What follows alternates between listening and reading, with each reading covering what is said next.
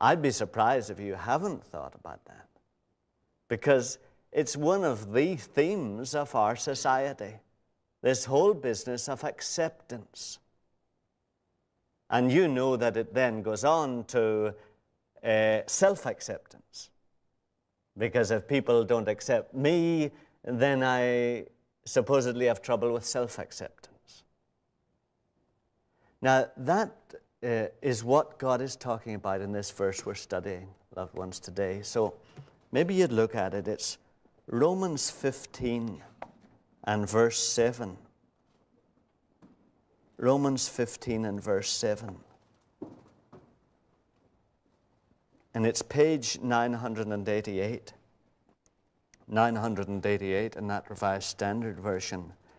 Romans 15 and 7. And you see it there.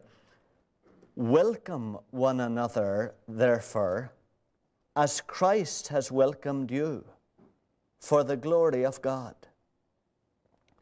And the New International Version translates it accept one another. Accept one another, therefore, as Christ has accepted you for the glory of God. And of course, you remember this follows the whole discussion that we've been involved in about how you treat new people who come into a church and whether you try to make them think what you think and that whole thing. So then God is saying to us, accept one another, therefore, as Christ has accepted you for the glory of God. Now, our miserable old society takes two extremes on this whole principle of acceptance. And as usual, with all the errors that we make in our society, the extremes and the errors come from a misunderstanding of the application of law and grace in external society and in personal attitudes. That's where all our problems come from. It's a failure to understand when grace should be applied and when law should be applied. And it's a confusion of applying grace at times in the external government of society and at times applying law in the internal personal attitudes we have to each other. The first extreme is the one that takes the attitude acceptance is right. We should accept everybody at all times, in any place, for any purpose, if we are truly to be free from discrimination. And that attitude, you know, is rife in our society. And it's very appealing to you and me who think of ourselves as normal people. I mean, we want to be nice people. We want to be civilized. We don't want to discriminate.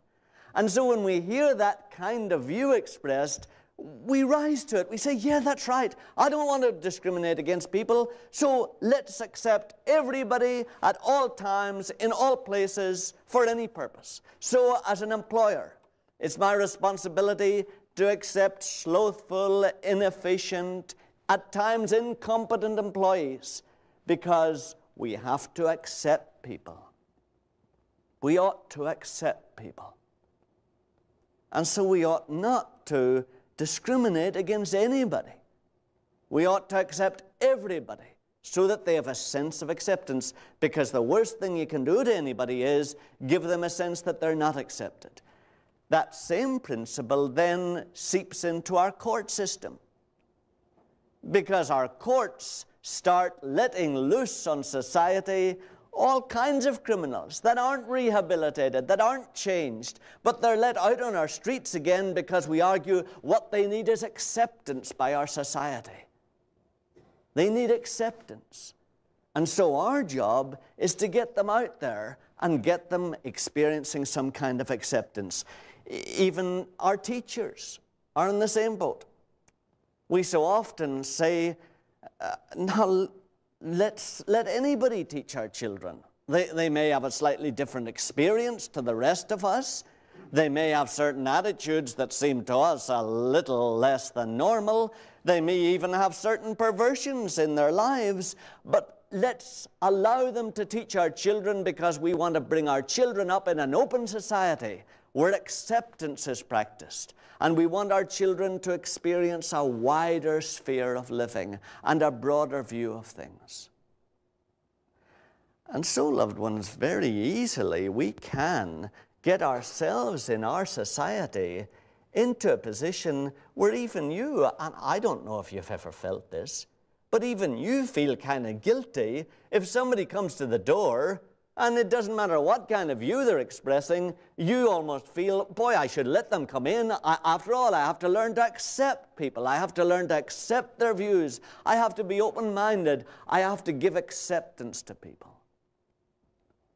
And so many of us in our ordinary everyday practices have this kind of guilt complex in the back of our minds. Now, I don't want to be narrow. I don't want to be exclusive. I don't want to be parochial. I don't want to be unaccepting of other people. I want to accept people. And so, one extreme in our society comes from trying to apply a principle of grace to the external government of our society. That's what we're doing. The principle of acceptance, in that sense, is a principle of grace. It works inside the personal attitude realm. But in the realm of the government of society, it brings about absolute chaos. The principle of grace, of acceptance in that way, is not meant to be applied to the external government of our society. The external government of our society depends on law. And that's why God gave us law. And actually, in the external ordering of our life together, you are not encouraged by God to accept anything and everything for any purpose at any time. Indeed, you're encouraged to go the other way. And I'd like to point it out to you in 1 Corinthians 5, it is, and verse 11. 1 Corinthians 5 and verse 11.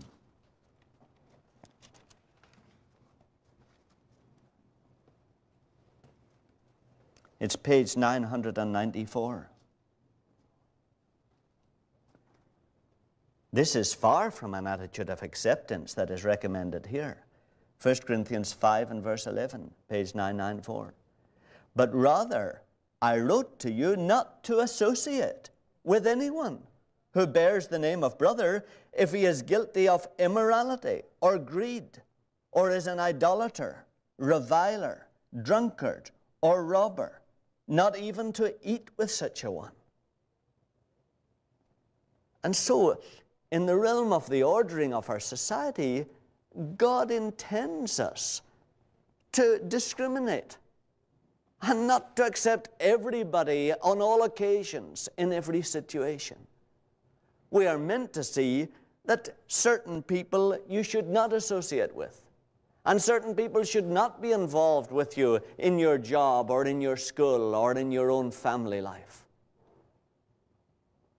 Now, really, what we're doing is we're trying to apply a principle of grace to external society. We're trying to apply a principle of the kingdom of God to an unredeemed world. That's it. We did the same in England with the welfare state. We felt that everybody should share everything.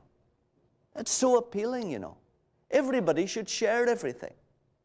And so, you know what we did? We went just enthusiastically into the whole welfare state situation. Except that the hearts of people were not sharing hearts. Some of them were sharing hearts, but some of them were grabbing hearts. And so the whole medical system in the United Kingdom came toppling down because some were grabbing like mad. You can't apply a principle of grace or apply a principle of the kingdom of God to an unredeemed society. It is rather embarrassing, but if you read the New York Times three or four months ago, not very much was made of this particular speech of Gorbachev's, but it was reported in the New York Times. It was one of the first speeches he made after coming into power in Russia. And the gist of it was society in its present state is not ready for communism. Some things have to change in the hearts of individuals before fully fledged communism will work. It's very close to saying, until people's hearts are changed and made unselfish, you cannot practice a spirit of unselfishness that you impose by law. In fact, loved ones, the Bible is very, very definite that the only thing that holds society together at the moment is law. It isn't actually grace, it is primarily law that holds society together. You see it in 1 Timothy 1 and 8 through 10. 1 Timothy 1 and 8 through 10.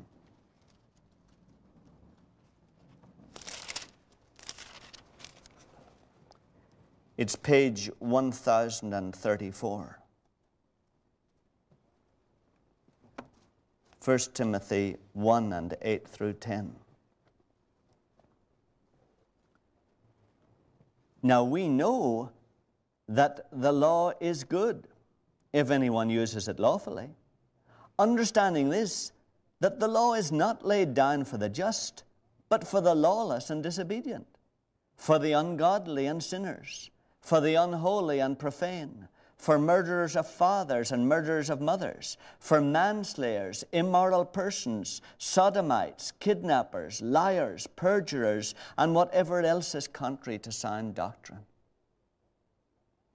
Now, when you're dealing with loved ones like that, and you have to call them loved ones because they are beloved by God and they are to be beloved by us.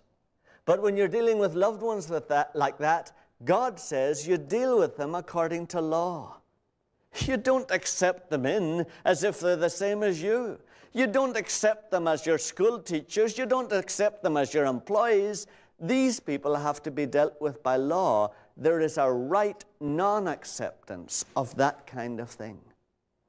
And indeed, if we do not uphold that practice of law in this regard, eventually our society will disintegrate. Do you realize that?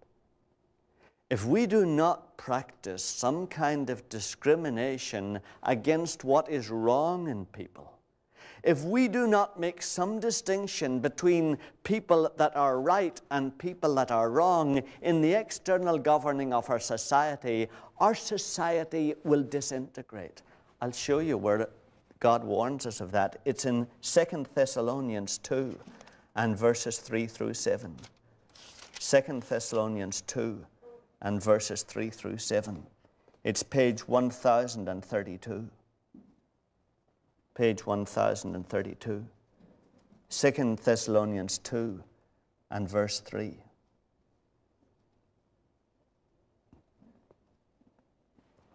Let no one deceive you in any way for that day will not come unless the rebellion comes first. This is the end of the world. And the man of lawlessness is revealed, the son of perdition, who opposes and exalts himself against every so called God or object of worship, so that he takes a seat in the temple of God, proclaiming himself to be God. Do you not remember that when I was still with you, I told you this? And you know what is restraining him now so that he may be revealed in his time. What is restraining him now is law, and it is upheld by the Holy Spirit. For the mystery of lawlessness is already at work. Only he, the Holy Spirit, who now restrains it through law, will do so until he is out of the way. That is, until the Holy Spirit will be withdrawn from the world at a certain point, and the whole rule of law will collapse entirely. Now, as long as you and I refuse to apply the principle of law to the external government of our society, we accelerate the coming of lawlessness and we accelerate the coming of Antichrist. And we shorten the time during which we have to bring others close to Jesus and into a real relationship with God. So, loved ones, it is vital that we do not fall into that extreme in our society today of trying to practice an indiscriminate acceptance of everybody in all kinds of situations. That is applying a principle of grace to the external government of society, which requires the application of the principle of law. Now, the other extreme of us miserable human beings is that we apply the principle of law in the area where the principle of grace is to be applied. In regard to our husbands, in regard to our wives, we apply the principle of law. And in regard to our sons and our daughters, we have witch hunts in churches to find out the people that are wrong. We will not accept them because they're wrong. That's where the principle of grace is to be applied, where we've to accept them in Jesus' name. We have postmortems in our marriages because we must find out which of us was wrong and why we were wrong and where we can level the blame. And we apply the principle of law heartlessly in the realm of personal attitudes where the principle of grace is to be applied. And the reason is that in your marriage, in the church, in your family, even in your personal relationships with your colleagues at work, the fabric of society is not in peril. It isn't. Law is applied when the fabric of society is in peril. The fabric of society isn't in peril because he didn't take out the garbage.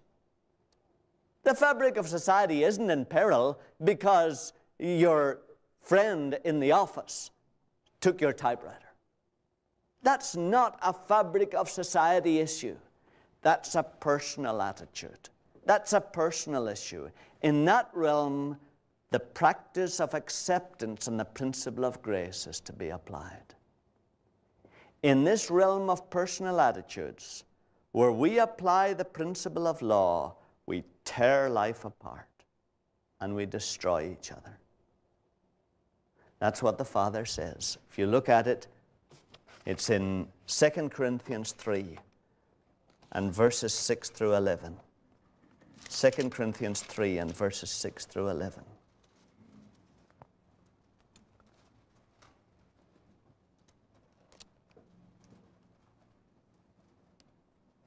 It's page 1005. 2 Corinthians 3 and verse 6. Who has made us competent to be ministers of a new covenant, not in a written code. And that's what we want to apply, you see. We want to apply to that wife of ours the written code. We want to apply to that colleague at work the written code. Not in a written code, but in the Spirit. For the written code kills, but the Spirit gives life.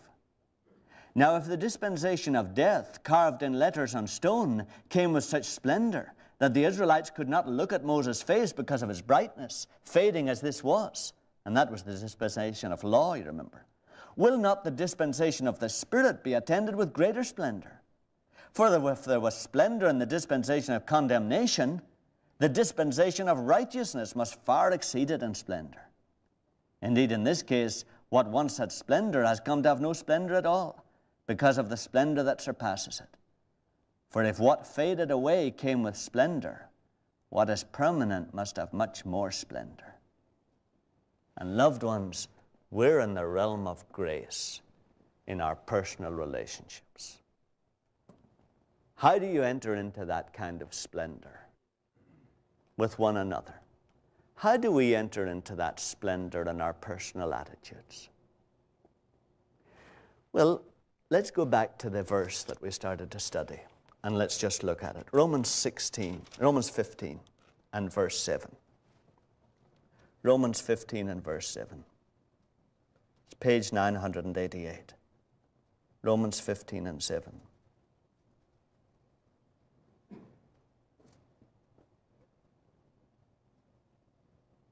Welcome one another, therefore, as Christ has welcomed you for the glory of God. That's how. Accept one another, therefore, as Christ has accepted you for the glory of God. That's how to behave towards your partner. That's how to behave towards your friend. That's how to behave towards your roommate. That's how to behave towards your son and your daughter. Accept one another as Christ has accepted you for the glory of God.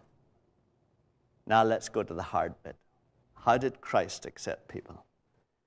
Let all us Pharisees look at John chapter 8. John 8. And it's page 931. John 8, on page 931.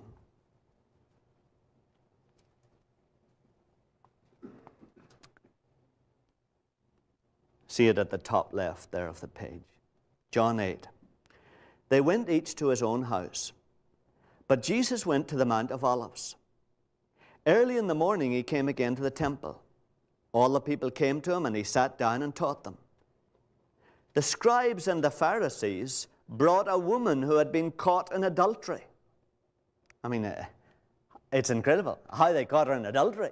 Uh, I mean, there must have been, it must have been big brothers watching you, but they managed to catch her in adultery. And so you can imagine the, the glee with which obviously they brought her. And placing her in the midst, they said to him, Teacher, this woman has been caught in the act of adultery. Now, in the law, Moses commanded us to stone such. What do you say about her? This they said to test him, that they might have some charge to bring against him. Jesus bent down and wrote with his finger on the ground. And as they continued to ask him, he stood up and said to them, Let him who is without sin among you be the first to throw a stone at her. And once more he bent down and wrote with his finger on the ground. But when they heard it, they went away, one by one, beginning with the eldest. And Jesus was left alone with the woman standing before him. Jesus looked up and said to her, Woman, where are they? Has no one condemned you? She said, no one, Lord. And Jesus said, Neither do I condemn you. Go and do not sin again. And we tend to say, Well, didn't he think that he was condoning the woman's sin? Wasn't he afraid that he would condone the woman's sin of adultery? No, he wasn't. His life proclaimed his attitude to adultery. His own life made it clear to everybody what he thought of adultery. He was in no doubt about that. Well, did he not think that maybe the whole fabric of society would break down if, if he didn't condemn her? No. He knew the fabric of society wasn't in peril here, it was governed by law. Well, did he not think that by condemning the sin, then he'd kind of reinforce her hatred of it and he'd maybe help her to overcome it. No. Because he knew there's only one condemnation of sin that matters. And that had already taken place in eternity and was going to be expressed in his death on Calvary. Now, loved ones, you and I need to get that clear. Because I know at the moment you probably don't understand it, even though you've listened to the words. But Jesus didn't condemn her because the only condemnation of sin that mattered had already taken place in eternity and was going to be expressed in his death on Calvary, and he knew that's the only condemnation that mattered, and any other condemnation was unnecessary and needless and pointless and a waste of time and indeed harmful. What was the condemnation of sin? Well, you can see it yourself. Romans 8 and verse 3. Romans 8 and verse 3.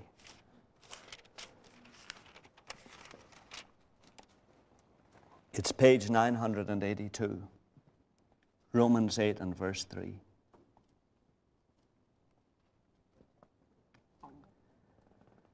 For God has done what the law, weakened by the flesh, could not do sending his own Son in the likeness of sinful flesh, and for sin, he condemned sin in the flesh. That's the only condemnation that matters. Now, could we all get out of our heads that what God did was look down upon Jesus as he hung on the cross and said, You miserable sin, you bad sin, I condemn you, you rotten, dirty sin, I hate you, I look down upon you, I condemn you. That's stupid. God didn't do that. That's pointless. What the Bible means is that God destroyed sin. That's the Greek word condemn there. Condemned it, damned it out of existence, condemned it, destroyed it. That's the only condemnation of sin that matters. You can't do that, can you? Can you destroy adultery? Can you destroy selfishness?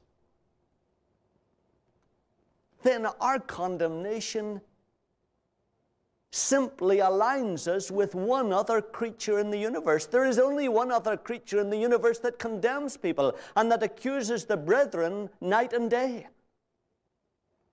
And the only thing you do when you condemn your husband, or you condemn your friend, or you condemn your wife, or you condemn your child, is you align yourself with the only other creature in the universe who is in the business of condemning and accusing, and that is Satan. Because the only condemnation of sin that is worth anything is the condemnation that took place on Calvary when God destroyed the power of sin. That's why the woman committed adultery. Do you know that? That's why she committed adultery. That's why your dear friends keep making errors and mistakes. Because sin is within them, it's inside them. That's what the Bible says. If, if you look at Romans 7 and 20, it's just above that piece that we looked in Romans 8. Romans 7 and verse 20. You see it there. Now it's page 982, Romans 7 and 20. Now, if I do what I do not want, it is no longer I that do it, but sin which dwells within me. That's why she committed adultery, because of sin which dwelt within her. That's why your wife takes the attitude that you think is wrong. That's why your husband does the things that you disagree with and that you think are wrong because of sin which dwells within them, and that has been condemned to death on Calvary. It doesn't need to be condemned a second time. In fact, the more you condemn it, the more you convince them that nothing happened on Calvary. That's it, see. You only fix a thing that hasn't been fixed. Every time you condemn a person, you actually convince them that nothing has been done to deliver them. Now, if you say to me, well, what do they need? They need to believe it. They need to believe it.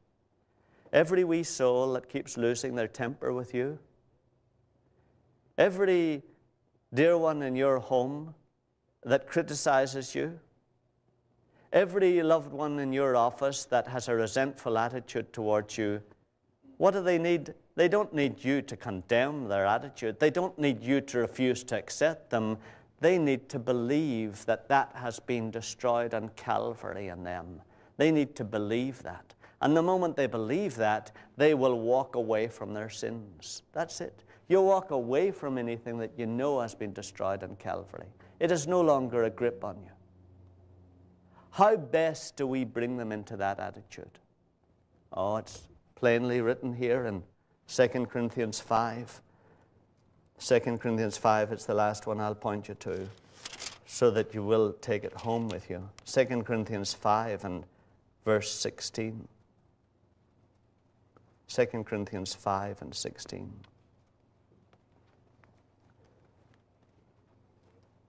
It's page 1006. 2 Corinthians 5 and 16. From now on, therefore, we regard no one from a human point of view. Even though we once regarded Christ from a human point of view, we regard him thus no longer. Therefore, if anyone is in Christ, he is a new creation. The old has passed away. Behold, the new has come.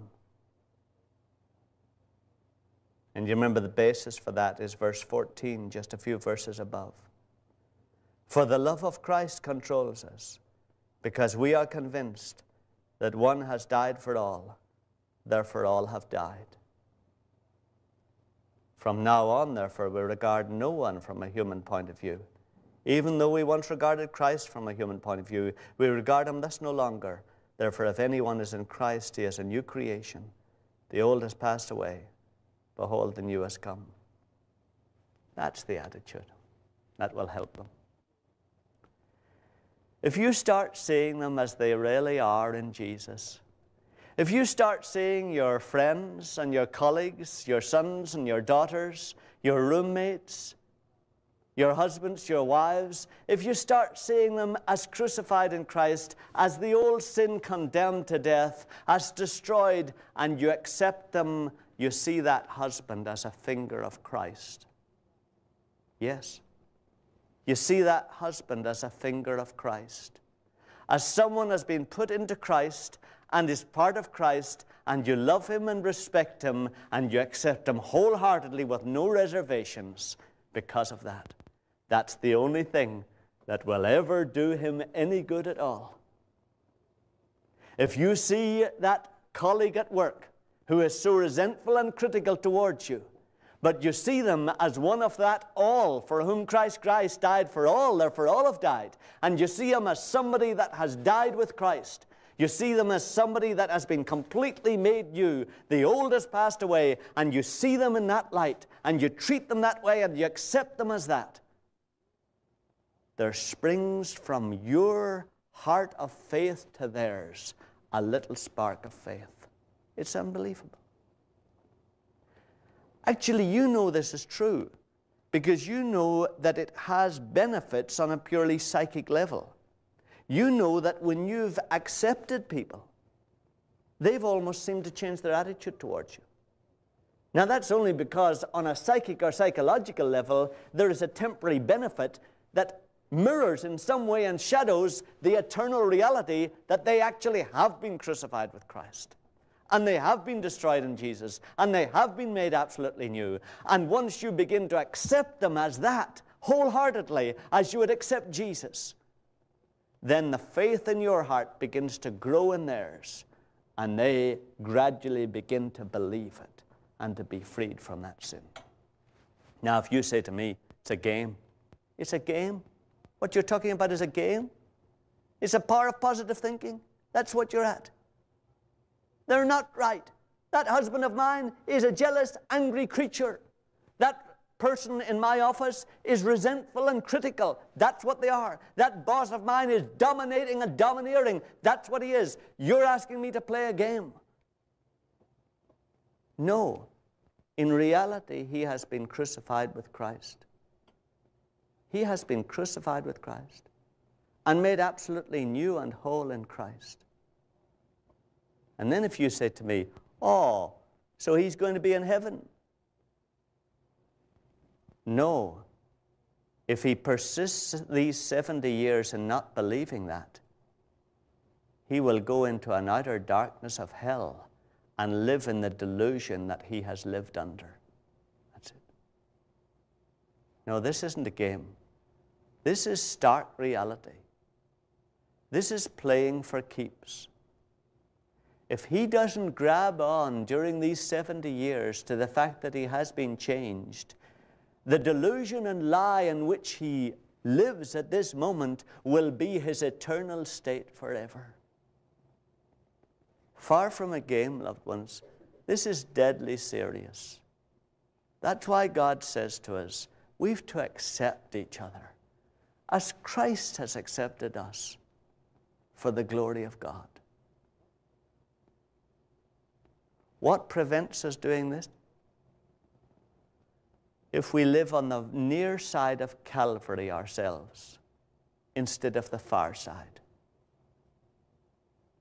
If we won't submit to the fact that we too have been crucified with Christ, and accept the absolute change that God has wrought in us in Jesus, and we fail to go through the cross to the resurrection side, then we'll live on the near side and we'll constantly be trying to establish the righteousness of our own unrighteousness by condemning the apparent unrighteousness of others.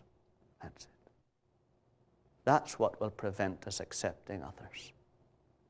If we continue to live on the near side of Calvary, then our self righteous will make us sick. And in order to try to prove that it's right to get rid of our sickness, we'll constantly be projecting our sickness into others and condemning our unrighteousness in them. The way of splendor is altogether different.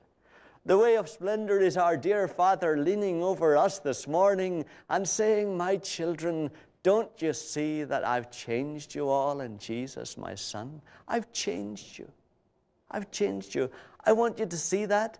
I want you to accept that yourselves, and I want you to start accepting everybody else in this room and in your home in your personal attitude, accept them as changed and made like my son Jesus. And as you live in that beautiful world of whatsoever things are true and lovely and of good report, as you stop rejecting them and you start accepting them as being pure and whole, you will see the miracle wrought in them and they will become what you believe. Let us pray.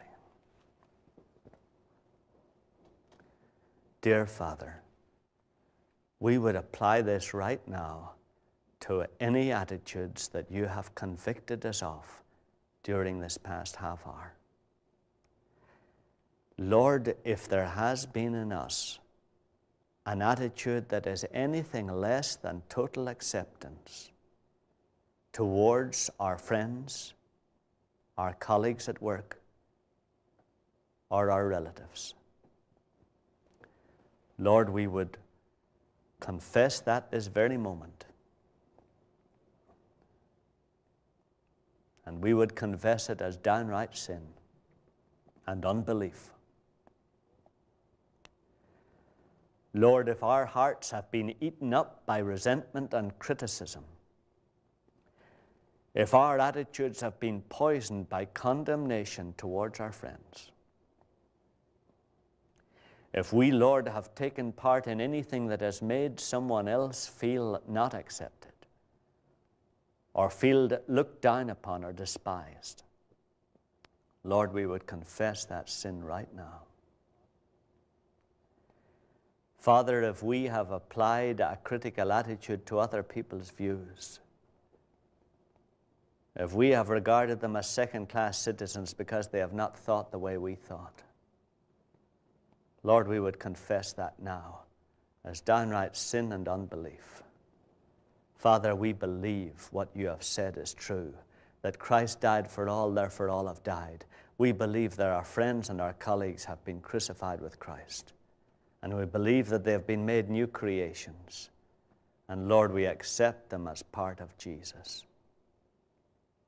If our Lord has condescended to allow them to become part of Him, then we will not dare to reject them, lest we reject Him also. So, Lord, we thank you for showing to us the ways in which we should separate ourselves in our society, and yet for showing us the ways in which in our personal relationships we're to accept each other as Christ has accepted us for the glory of God. And Lord, we commit ourselves now to obeying you and to changing our attitudes this very day for your glory.